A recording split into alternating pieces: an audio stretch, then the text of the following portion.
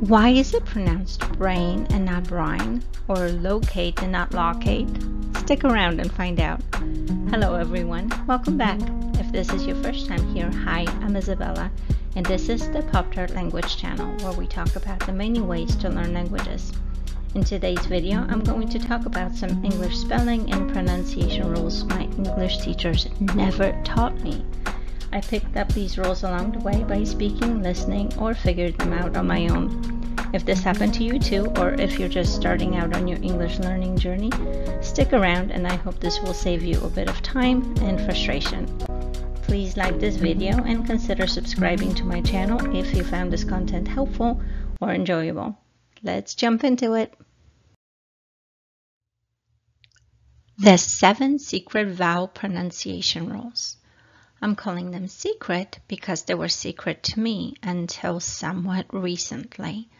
I'm going to read this to you first and then go over this slide in depth in the following slides. First, a vowel followed by a single consonant at the end of a word is pronounced as a short vowel. Second, a vowel followed by two consonants at the end of a word is pronounced as a short vowel. Third, if a vowel is the final letter in a word, it is pronounced as a long vowel. Fourth, if an E appears at the end of a word, it is silent. The preceding vowel separated from the E by one or more consonants will be pronounced as a long vowel. Fifth, if two vowels appear next to each other in one syllable, the second vowel is silent and the first vowel is pronounced as a long vowel. Sixth, if one consonant follows a vowel in the middle of a word, it is pronounced as the first sound in the next syllable. Seventh, if one consonant follows a vowel in the middle of a word, it is pronounced as the first sound in the next syllable. The CVC rule. A vowel followed by a single consonant at the end of a word is pronounced as a short vowel.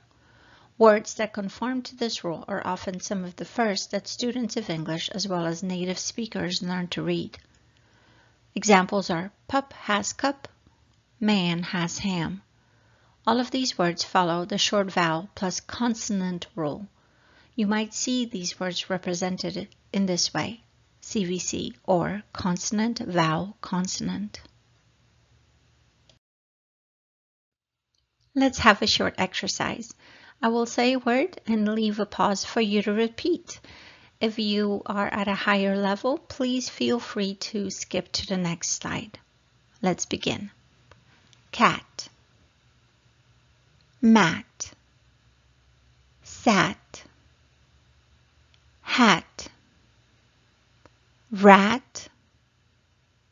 bat, can, man, bad, ran, lad, sad, had, fad, tad,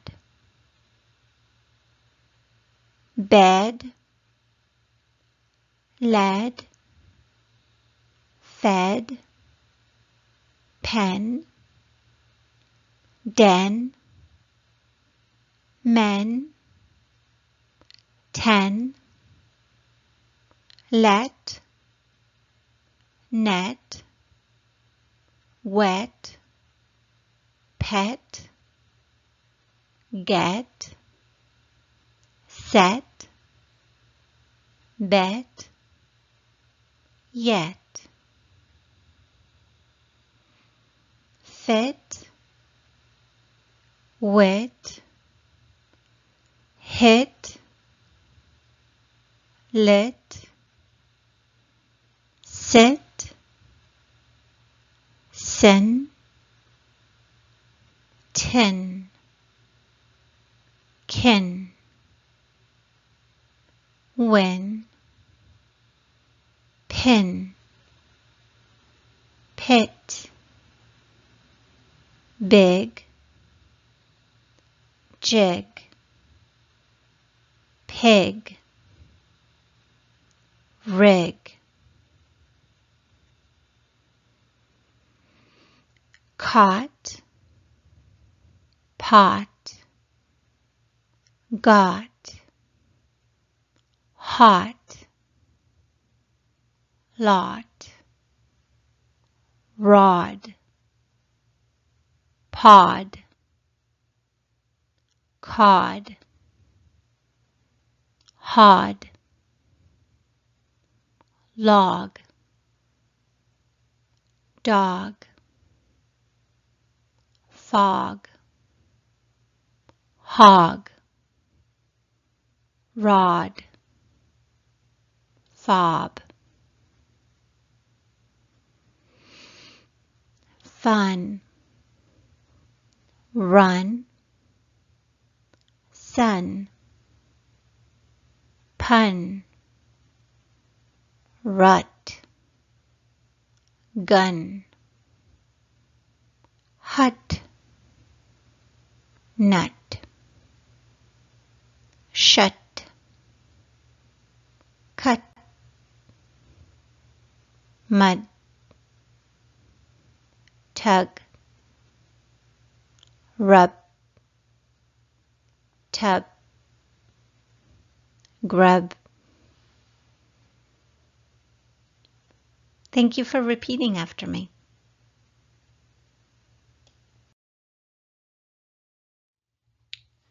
The consonant vowel consonant consonant rule. It is a vowel followed by two consonants at the end of the word is pronounced as a short vowel. Words that conform to this rule may be single vowels followed by a consonant blend, and below are examples of consonant blends, or those that are followed by two distinct consonants. You may see these types of words represented by CVCC. Examples of the words are stops, want, hand, wish, or bark. Once again, let's have a repeat after me exercise. We will start from top, go down to the bottom, and then go from left to right. I will say the word and then leave a little bit of time for you to repeat after me. If this is too easy, once again, skip to the next slide. Let's get started. Chat, ramp, blob, must, camp, drum, thin, trip,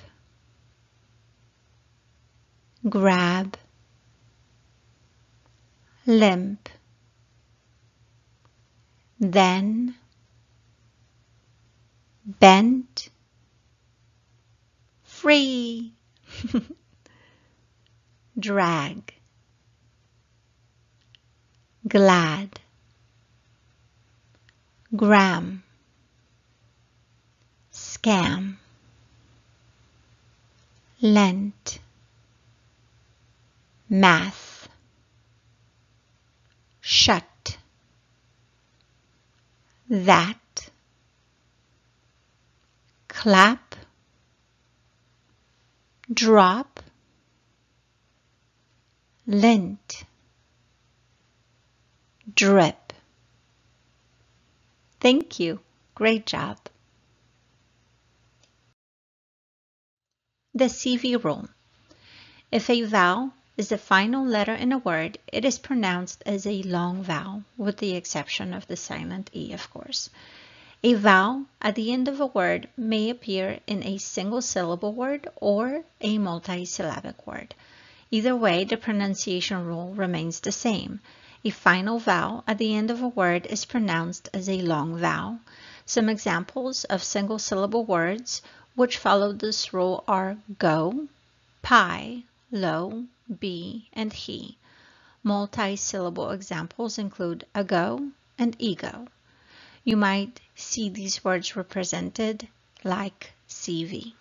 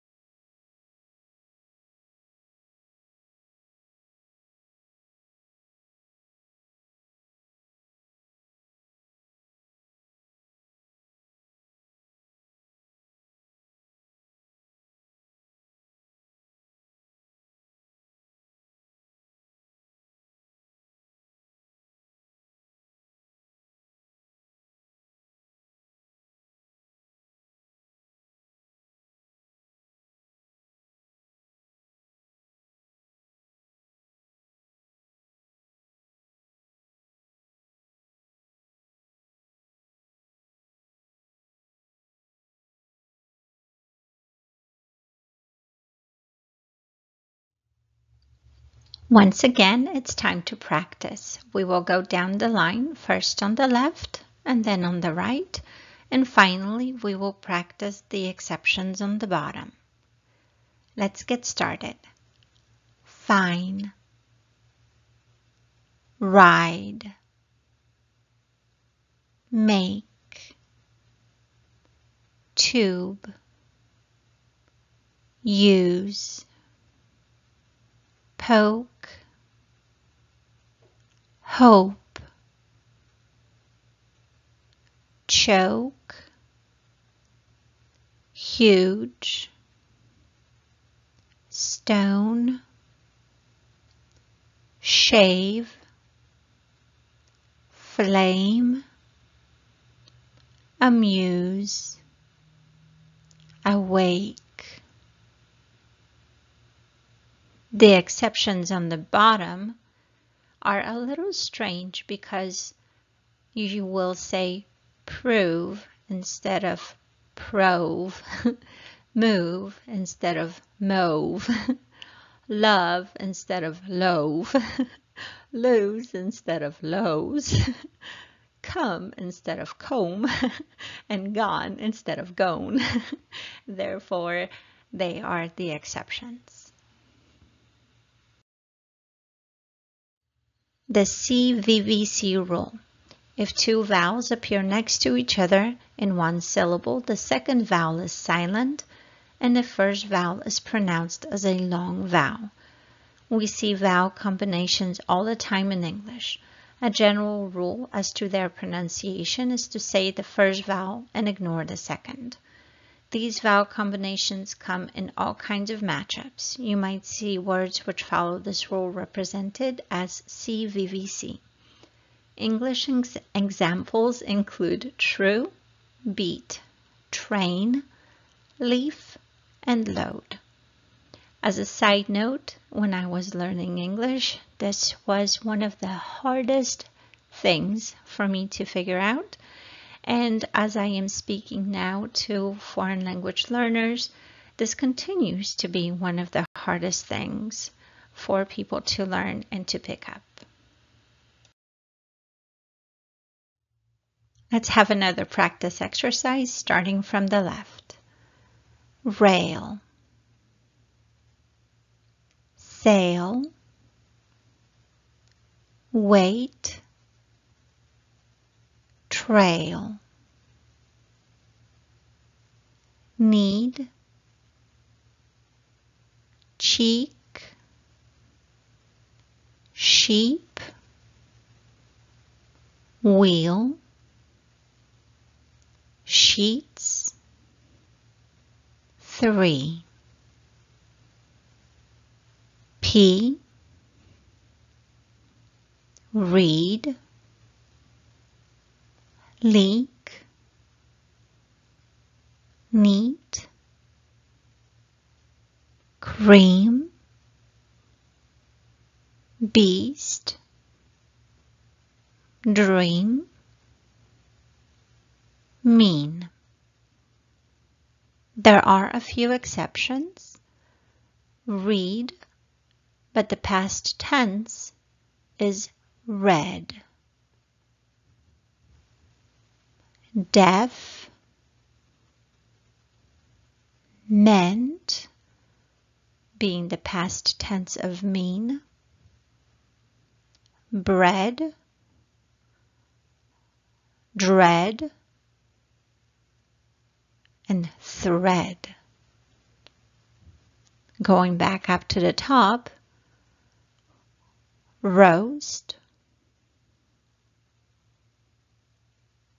coast, moan, throat. Thank you for practicing. Syllable stress within a word. If one consonant follows a vowel in the middle of a word, it is pronounced as the first sound in the next syllable where a consonant is pronounced in a word does make a difference in the student's pronunciation, particularly if they speak slowly. Think about the difference between paper and paper. Clearly, the second is the correct pronunciation, while the first sounds at best strange and at worst like a different word entirely. Other examples include telephone, not telephone, labor, not labor, locate, not locate, and protect, not protect. This was fun to pronounce. I'm going to get a little bit personal before these exercises, but I am asked this one question many times, and this question is, what can I do to lose my accent? Or how can I sound more natural? Or what can I do to sound better? And this one exercise or this one tip is it. Syllable stress is very important because if you mispronounce the words or stress the incorrect syllable, not only do you sound strange, it is very clear to uh, a native speaker that you are not you're not native. You are foreign. Therefore, let's practice these words and let's see if we can stress the correct syllable. First word, manage. Manage. Yesterday. Yesterday. Position. Position. Product. Product. Property. Property engineer. Engineer. Today. Today. Complete. Complete. Statistic. Statistic Understand. Understand. Please pause the video or rewind if you need to repeat this exercise. Thank you for practicing. Consonant splitting. When two consonants follow a vowel in the middle of a word, one consonant is pronounced at the end of the first syllable and the other is pronounced at the beginning of the next vowel.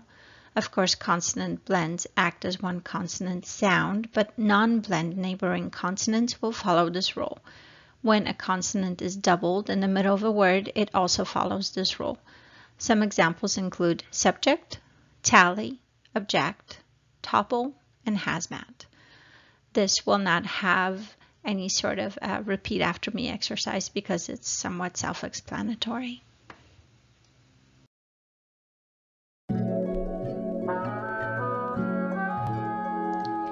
Thank you for watching my video. If it helped you, please leave me a like and consider subscribing. If you have any questions, please leave me a message in the comment section. Thank you very much. I hope to see you again soon.